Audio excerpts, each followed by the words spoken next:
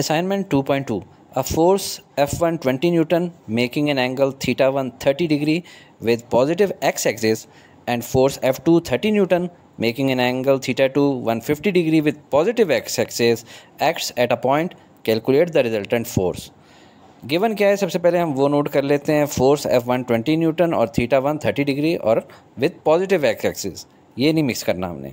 और F two है thirty newton theta two उसका है one fifty degree with positive X axis और हमने फाइंड क्या करना है रिजल्टेंट फोर्स आर और जारी बात है उसका एंगल भी। तो सोल्यूशन सबसे पहले, शुरू करने से पहले हम लोग इसका एक रीजनेबल स्केल सेट कर लेते हैं, जिसमें हम लोग लिख देते हैं कि टेन न्यूटन फोर्स को हम लोग टू सेंटीमीटर कंसिडर करेंगे ऑन पेपर या ऑन स्लाइड और इस तरह अगर देखा जाए तो फिर ट्वेंटी न्यूटन जो हमारे क्वेश्चन में है, वो कितना बन जाएगा? टेन न्यूटन टू सेंटीमीटर है तो ट्वेंटी न्यूटन के लिए हम फोर सेंटीमीटर की लाइन लगाएँगे और इसी तरह थर्टी न्यूटन के लिए सिक्स सेंटीमीटर की लाइन लगाएँगे। तो सबसे पहले हम कार्तीजियन कोऑर्डिनेट प्लेन ले लेते हैं और उसके ऊपर हम लोग अपना प्रोटेक्टर या डी रख लेते हैं। सबसे पहले हम लोगों ने force F one twenty newton की बनानी है थर्टी डिग्री के एंगल पे। तो थर्टी डिग्री के एंगल के ऊपर हम लोगों ने लाइन लगानी होगी और कितनी लंबी लाइन लगानी होगी हम लोगों ने ट्वेंटी न्यूटन के अगेंस्ट फोर सेंटीमीटर तो ये हम लोग फोर सेंटीमीटर लंबी एक लाइन लगा लेते हैं थर्टी डिग्री के एंगल के ऊपर।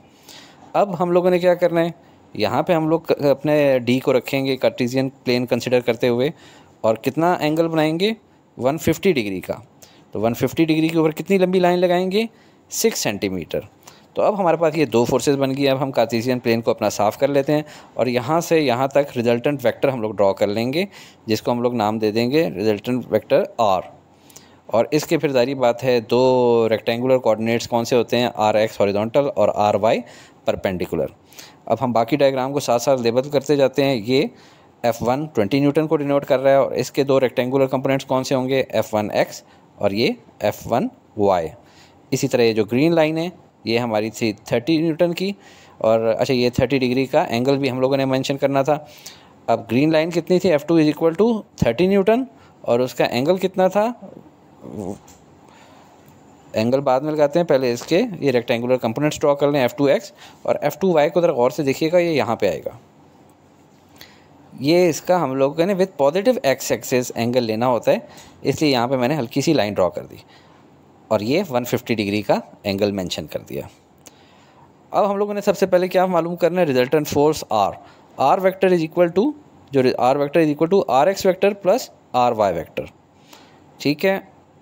और इसको हम यू भी लिख सकते हैं R X with unity vector plus R Y unity vector और मशहूर तरीक़ेकार लिखने का ये है vector R is equal to R X square plus R Y square और होल का स्क्वेयर रूट, ये स्क्वेयर रूट होल के ऊपर है। क्योंकि आप ये देखें, ये 90 डिग्री का एंगल है और इसके ऊपर कौन सा थ्योरम लगता है? Pythagoras theorem. ठीक है? Hypotenuse square is equal to square of perpendicular plus square of Y. तो जब हम लोग रिजल्टेंट आर मालूम करना होता है, आर एक्स का स्क्वेयर प्लस आर वाई का स्क्वेयर होल अंडर रूट लेते होते हैं। लेकिन इसको करने से पहले हमें आर एक्स और आर वाई चाहिए तो आर एक्स कैसे फाइंड करेंगे? आर एक्स फाइंड करना है तो वो होगा ये आर एक्स जो है, वो एफ़ वन एक्स और एफ़ टू एक्स जो इसका ये वाला है, इसकी मदद से। अब देखें आर एक्स नेगेटिव साइड पे जा रहा है, जबकि F one X positive side पे था F two X negative side पे था। तो F one minus F two X तो ये हमारा रिजल्टेंट इतना बनना होता है, लेकिन दोनों को ऐड किया जाता है। हम लोग इसको ज़रा ऐड करते हैं।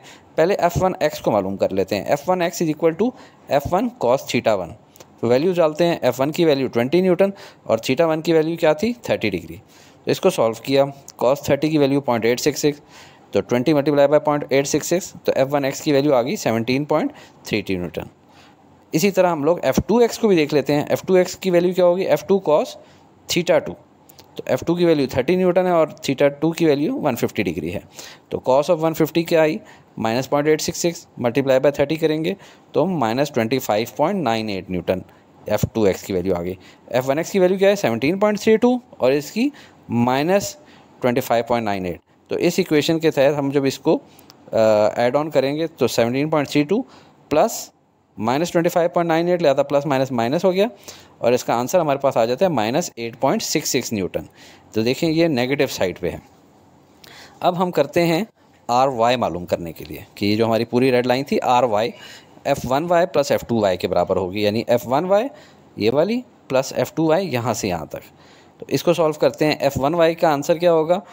F one sine thirty degree F one sine thirty degree F one की वैल्यू ट्वेंटी थी और साइन थर्टी की वैल्यू पॉइंट फाइव हो जाती है। इससे एफ़ वन की वाई की वैल्यू हमारे पास आ जाती है टेन न्यूटन ये वाली आ गई इसकी टेन न्यूटन अब एफ़ टू वाई की वैल्यू लेनी है तो वो क्या होगी? Thirty newton multiply by sine of one fifty degree तो thirty newton multiply by sine of one fifty degree sine one fifty कितना होता है? पॉइंट फाइव तो एफ़ टू वाई की वैल्यू ये आ गई है फिफ्टीन न्यूटन. तो ten newton plus fifteen newton, हमारे पास आंसर आ जाएगा आर वाई की वैल्यू ये जो पूरा यहाँ से लेकर आर वाई है, ये होता है एफ़ टू वाई के इक्वल प्लस इतना पोर्शन किसकी इक्वल है? एफ़ वन वाई की इक्वल तो ten plus fifteen twenty five newton. अब हम लोग वैल्यूज़ पुट करते हैं इस इक्वेशन में, और वो हो जाती हैं minus point eight six six whole square plus twenty five का होल स्क्वायर और स्क्वेयर रूट इसको सॉल्व करते हैं minus eight point six six का स्क्वायर हो जाता है seventy four point nine nine और ट्वेंटी फाइव का स्क्वायर हो जाता है सिक्स ट्वेंटी फाइव इन दोनों को ऐड करेंगे तो सेवन हंड्रेड स्क्वायर रूट हो जाएगा और सेवन हंड्रेड स्क्वायर रूट की वैल्यू का आंसर होता है twenty six point four six newton तो ये हमारा पहला आंसर आ चुका है। अब हम लोगों ने क्या मैयर करना है? इसका थीटा आर भी मैयर करना है। लेकिन थीटा आर मैयर करने से पहले हम इसका जो करीब तरीन एक्स एक्सिस होती है, उसके साथ एंगल मैयर करते हैं, जिसको कहते होते हैं theta is equal to tangent inverse R Y over R X. क्योंकि टेंजेंट सीटा क्या होता है? Through proper brushing. Tangent theta through proper, यानी परपेंडिकुलर ओवर बेस ब्रशिंग। तो आप परपेंडिकुलर क्या है? आर वाई, और ये क्या है? R X base. तो जब टेंजेंट इन थीटा लेना होगा तो tangent inverse R Y over R X. अब हम लोग इसको लेंगे, टेंजेंट इनवर्स करेंगे, आर वाई की वैल्यू क्या है? ट्वेंटी फाइव, और आर एक्स की वैल्यू क्या है? Minus eight point six six. लेकिन इस केस में हम लोग माइनस नहीं लेंगे, क्योंकि एंगल्स के अंदर ये ज़रूरी नहीं होता। अब हम लोग ले लेते हैं, इसको कैलकुलेट करते हैं twenty five divide by eight point six six तो two point eight eight six आ गया। और थीटा की वैल्यू इससे हमारे पास निकल आ जाती है seventy point eight nine degree ये वाला एंगल आ गया seventy point eight nine degree हमें चाहिए थीटा आर ठीक है? और उसके लिए हम लोग क्या करेंगे? आर एक्स देखें क्या है? नेगेटिव आर एक्स की वैल्यू क्या है? नेगेटिव आर वाई की वैल्यू क्या है? Positive R Y positive side पे है। सो आर जो है वो किस क्वाड्रेंट में है हमारा ये आर ये आप देख सकते हैं, अगर यहाँ पे आप कार्टिजियन कोऑर्डिनेट ड्रॉ करें तो ये सेकंड क्वाड्रेंट में है, ठीक है? इस क्वाड्रेंट में। और इस लिहाज से अगर देखा जाए तो फ़र्स्ट क्वाड्रेंट में आपको पता है थीटा आर की वैल्यू थीटा होती है थीटा आर की वैल्यू सेकंड क्वाड्रेंट में होती है one eighty minus three theta इसमें होगी वन एटी प्लस थीटा और इसमें होगी थ्री सिक्सटी माइनस थीटा अगर आपको ये भी नहीं समझ आया तो मैं क्वेश्चन एंड होने के बाद इसको ज़रा डायग्राम से समझाता हूँ। फ़िलहाल आप ये देख लें कि ये आपका सेकेंड क्वाड्रेंट में है। तो theta R equal to one eighty degree minus theta. ये थीटा आर की वैल्यू क्या होगी? One eighty degree minus theta. तो थीटा की वैल्यू क्या हम लोगों ने कैलकुलेट की थी? सेवेंटी पॉइंट एट नाइन वो इधर फ़ीड इन कर ली। और थीटा आर की वैल्यू आ जाएगी हमारी one hundred and nine point one one degree ठीक है? तो ये हमारे दो आंसर हैं जो हमें चाहिए थे। और अब मैं आपको ये थोड़ा सा एक्सप्लेन करके बताता हूँ कि ये किस तरह आता है। ये आपका कार्तिसियन प्लेन है। अगर इसमें आपका ये वेक्टर फ़र्स्ट कोऑर्डिनेट में है तो ये एंगल आपका थीटा है। और थीटा जो रिजल्टेंट हम, हमारा होता है, वो भी इसी के बराबर होगा, क्योंकि ये फ़र्स्ट क्वाड्रेंट के अंदर है। जब सेकंड क्वाड्रेंट के अंदर यही चीज़ जाती है तो उसको इस एक्सिस के साथ जो एंगल है, वो तो हो गया थीटा और जो थीटा आर होता है, वो 180 माइनस थीटा डिग्री होता है। इसी तरह अगर थर्ड क्वाड्रेंट में जाएँ तो ये वाला एक्स एक्सिस के साथ जो है, ये एंगल ये थीटा होता है नॉर्मल और जो कंप्लीट यहाँ से होगा एंगल उसको कहा जाएगा theta R is equal to one eighty plus theta.